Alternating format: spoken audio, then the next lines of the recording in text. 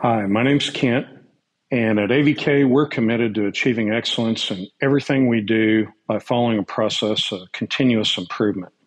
Our commitment starts from the time we initiate contact with you, and it continues through the period in which the product we manufacture is installed in your system and functioning as required.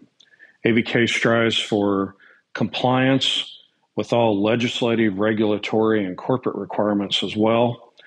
And I've worked for AVK for 20 plus years uh, because I believe in the company and the products we manufacture.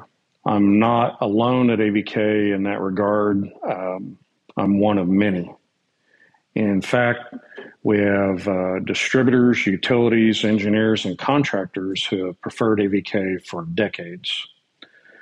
So uh, I just want to take a couple of minutes here and talk about the 3 through 24 inch AVK Series 816 butterfly valves. They have some unique features.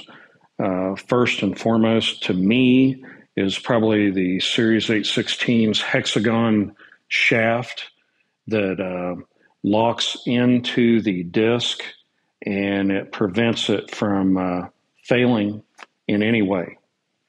The Series 816 also has uh, a shaft that's 17.4 pH 630 stainless steel standard.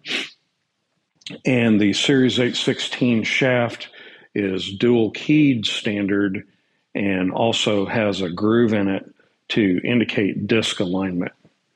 Um, in addition, the AVK Series 816 is a low head loss design. It's 250B standard, 16 feet per second, and it's seat tested to 250 psi. The body is ductile iron.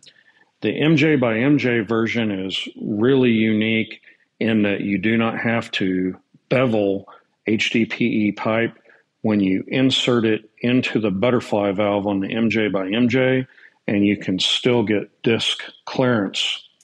Um, in addition to that, the valve has an anode lug standard, and the MJ by MJ version has anti rotation built in for the MJT bolts.